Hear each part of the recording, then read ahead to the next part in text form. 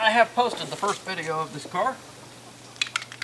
Many have commented that it looks just like the 66 Biscayne and Dirty Mary and Crazy Larry. That was from 1974. I had heard of the title of that movie. I've never seen it, never knew the premise of it, so I looked it up.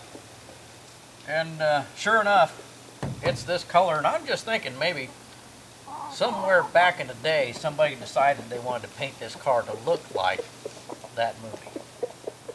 Anyway, these are some standard Chevy rallies from the 70s.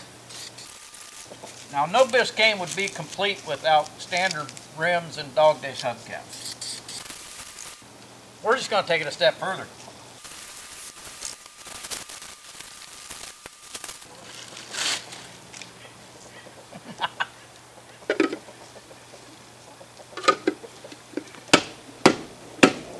Get on there!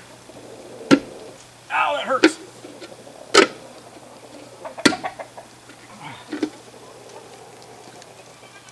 There's only three of them.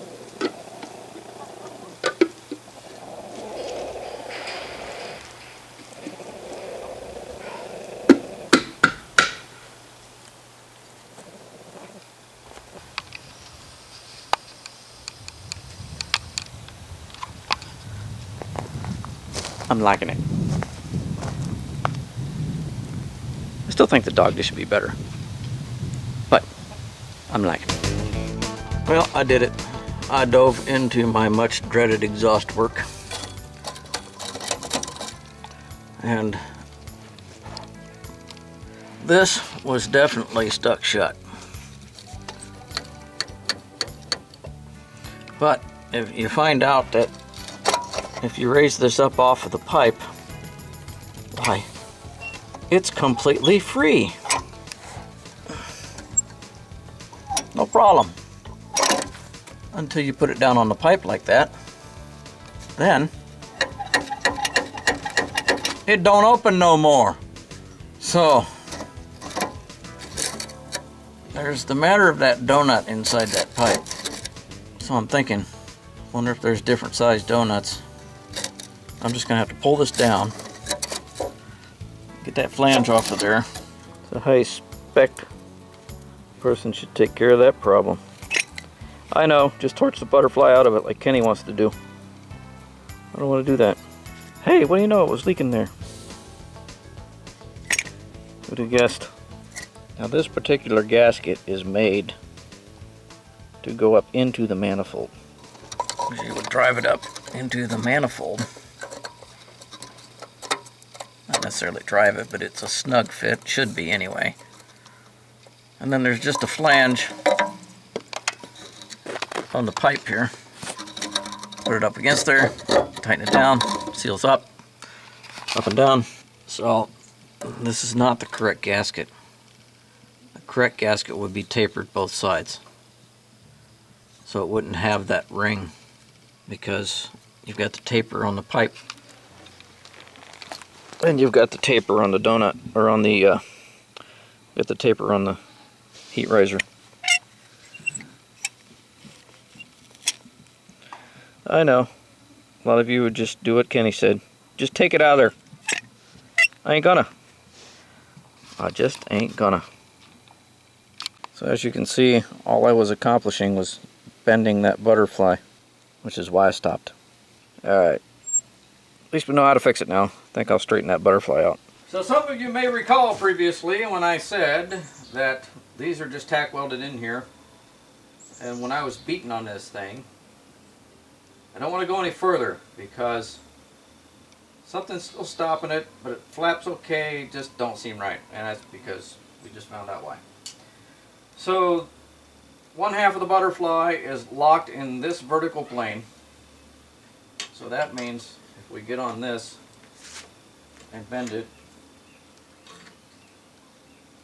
until it's parallel with that vertical plane,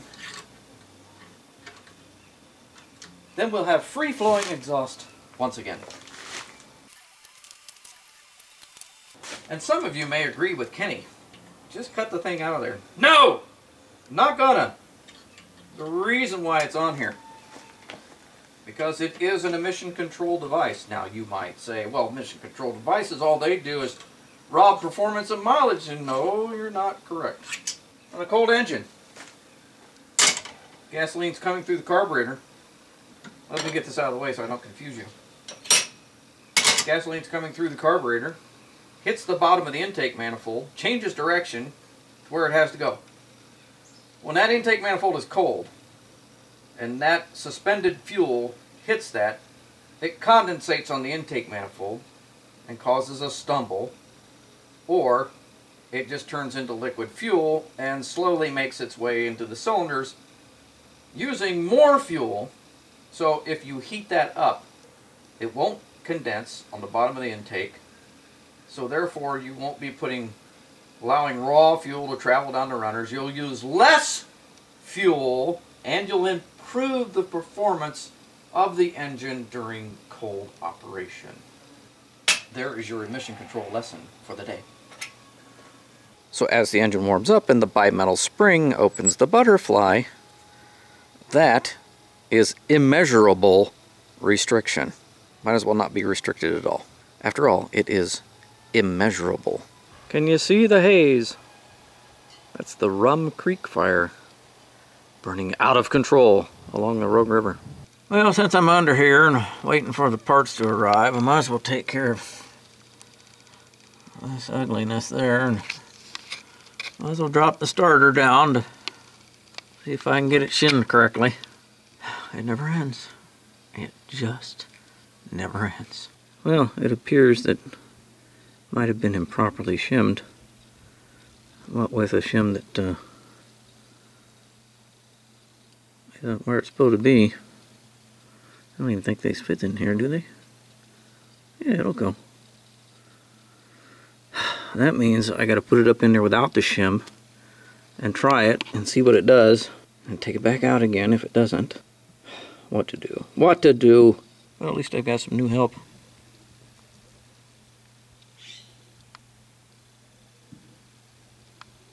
Two new helpers. As opposed to tuna helper. Oh, let's see what happens. Well, you know, that sounds better. Ooh, there goes a cat.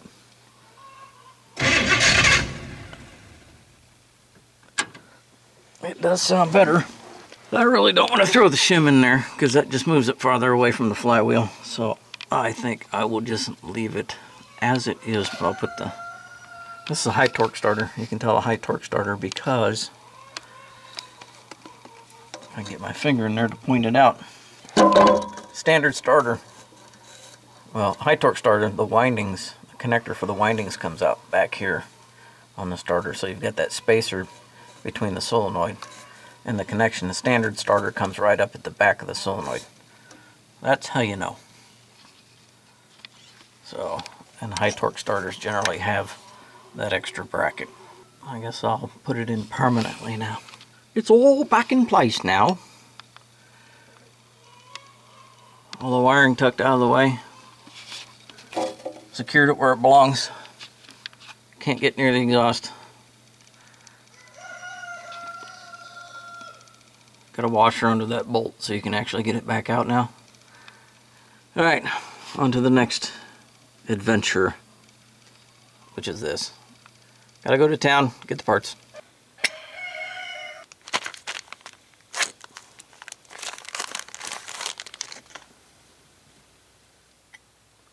Ah, yes.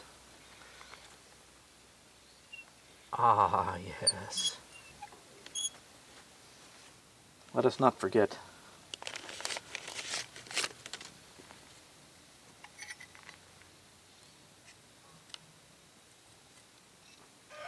It fits.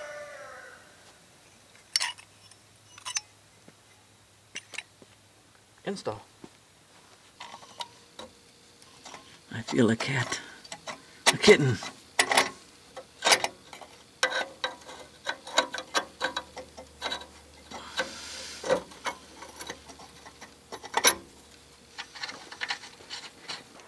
Well, here's hoping that the, because I can't see it, the flange will seat in that donut gasket the way it's spoda. Really don't look like it's gonna. Hmm. Yeah, it's gonna. It does, it does.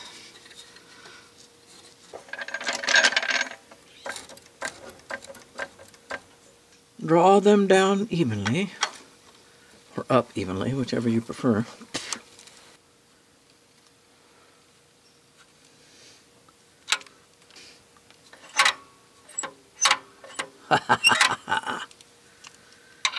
Wunderbar! Up on the housetop. Click, click. I think I'm done under here. Starter's all back. Inspection cover's tight. Wires are loomed. Except for this one for the heater fan. There, wires are all loomed. What else was under here? Oh, radiator hose. That's next. I don't know which way this goes. Looking like maybe that way. Don't you know? Don't you know? This thing. Oh, this thing. Uh, bungee cord.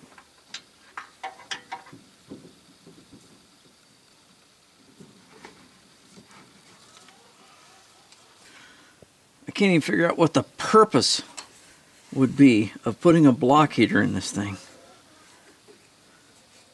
I mean, I grew up in Ohio.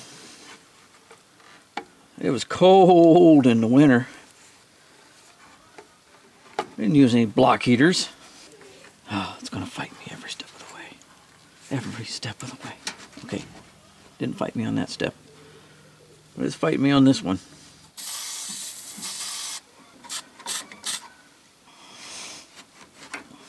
Try going on the other side of that stupid thing. Ah, That's more better. Oh, let's put this back on. That's when your hooky pick comes in handy. I don't feel like getting up and go to get it.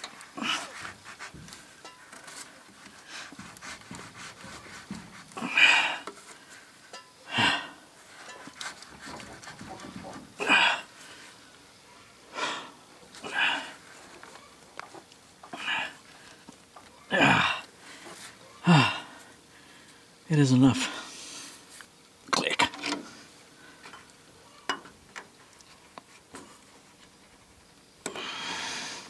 I'm going to guess this car had overheat problems. And it couldn't have not had overheat problems. Click. All right, time to drop it down. Well, after the front wheels on, of course.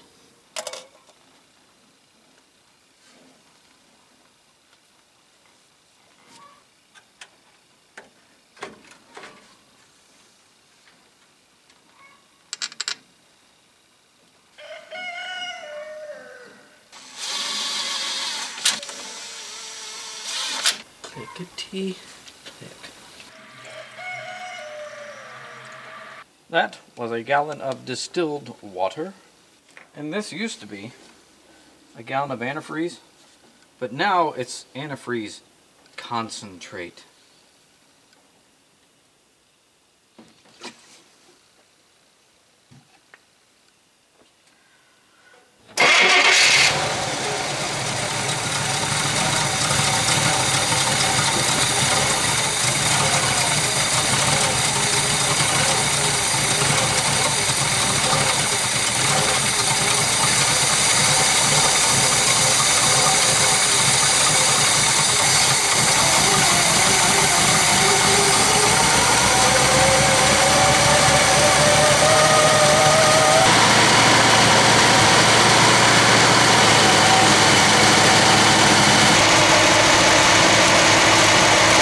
Oh, better.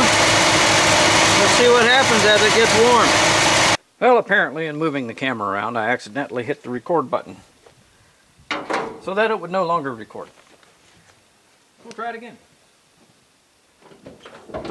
It's not cold anymore.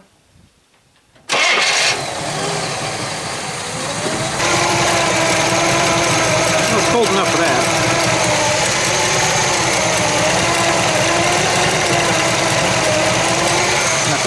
not open anymore. We want to see both of those open up. Oh, it's creeping. Purging.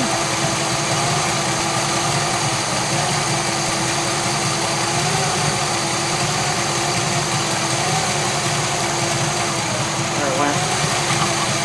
There's two gallons of distilled water in here and one gallon of concentrate and antifreeze.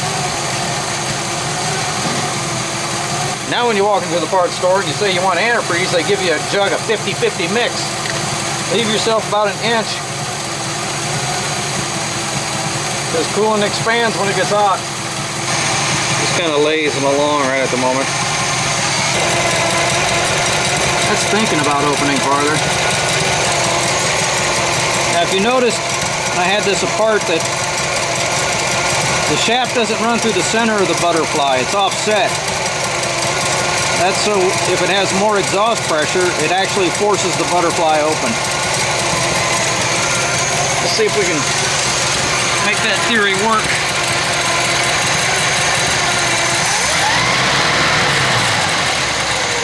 You see how it done that?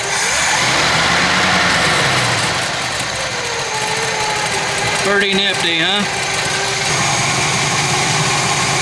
Yeah, she's moving through there at a pretty good clip now. You know, while we're doing this, let's check the blow-by. So, I'm going to remove the PCV hose and then move over here.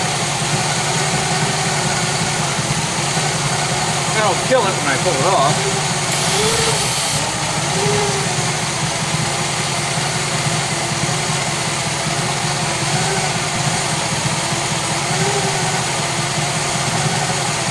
Pretty darn good, I'd say. Pretty darn good indeed. Run a little rich. Rich is okay. Rich is good. Rich is better than lean. I've got a special treat for you coming up, so if you want to tell me how crappy this thing's running, that's fine. You just go ahead and tell me. You'll see. Yeah, she's pretty much open at this point. That's just barely coming open. It'll go farther. It's done expanding, kind of what we're looking for here coolant's done expanding and it's not purging any more air out of the block. So that coolant level is pretty much right where we want to be. Now if I just had a radiator cap, then it wouldn't boil over as soon as I shut it off. Oh yeah. Okay, so you can't read it because it's upside down.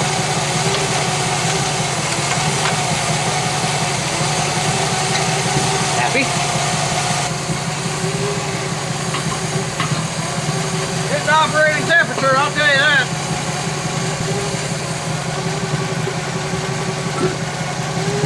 I'm real curious as to whether or not the wide open throttle performance has improved. It's open a little bit. Not, we're just sitting here idling. So you consider the normal operation of this vehicle is you're going to start it up it's going to run for two seconds. You put it in gear and go on your way. And that exhaust is going to heat up a whole lot more than what it is right now. So I think we ought to road trip it. Well, we ought to driveway trip it.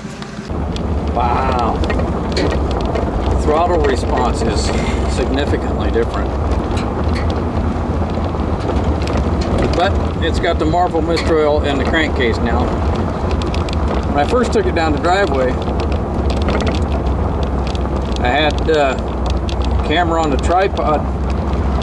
The tripod wedged in the into the trunk because there was no back seat in it.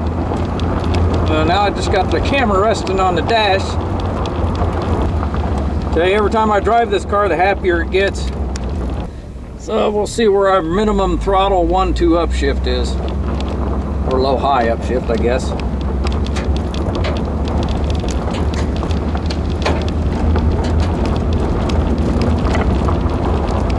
Right there. About 15. Oop. Yeah, about 15. Because we wanted to kick down as soon as I get through my gate here.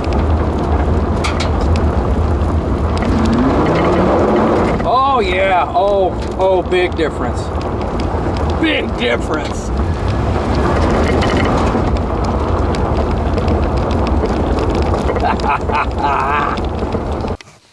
okay. It's under pressure. So you can hear it leaking past the cap.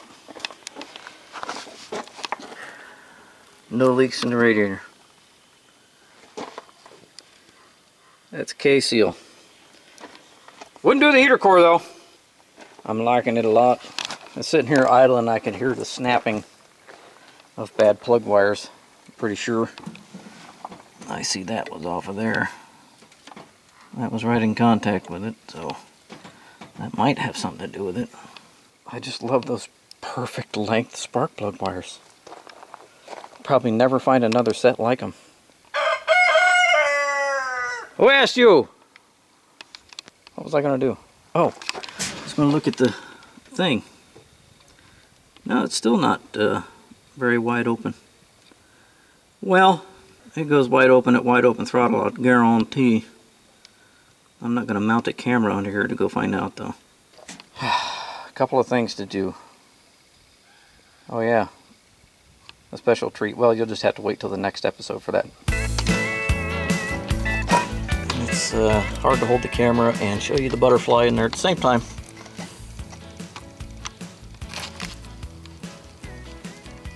How can I do this?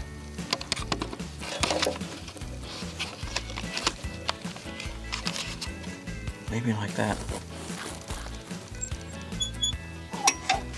Okay, so that's the bottom side. Nothing wrong there. Till you do this.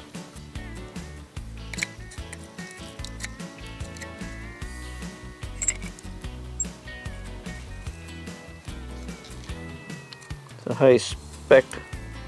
Because you've got the taper on the pipe. And you've got the taper on the donut or on the uh, got the taper on the heat riser. I know a lot of you would just do what Kenny said just take it out of there I ain't gonna I just ain't gonna might as well not be restricted at all after, after all it is immeasurable Ow. Parallel bolt shim. If I can stop shaking. Let's see how it goes. Oh, took the battery up first. It good?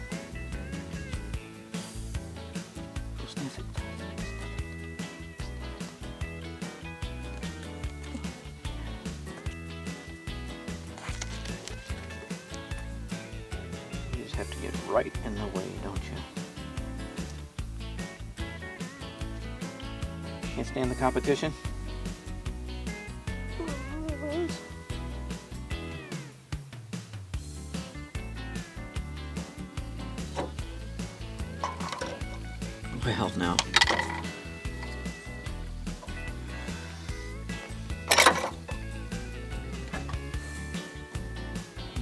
Nut.